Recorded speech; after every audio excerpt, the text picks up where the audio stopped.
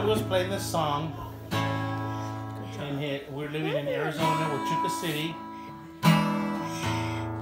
And I remember I heard this. And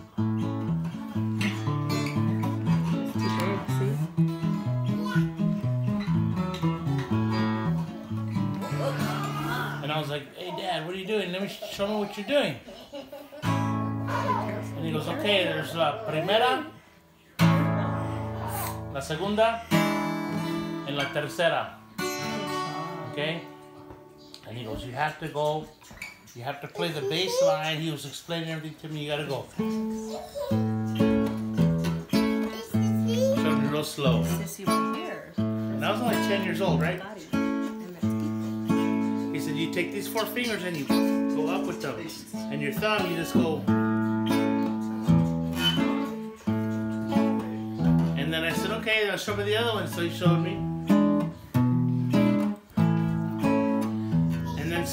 Right, he showed you. So, like, I did this for like a couple hours, right? I'm like, and I'm, and then, anyways, I go back and I say, hey, Dad, check this out. And he's laying down, I remember, I'll never forget this. He's laying down in bed. I knocked on his door he goes, come in. I said, Dad, listen, look, check it out, look. And then I go,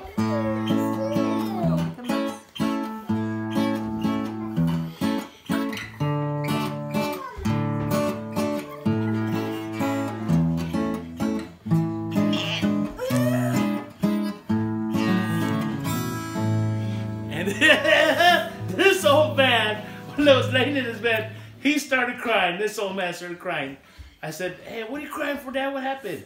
He goes, son, you don't understand how happy you make me right now. I can die a happy man right now. Knowing I could die right now, happy, knowing that my soul will continue on through you. And I didn't understand it when I was a kid, but you know I do now. But it was it was a cool moment. He's still here.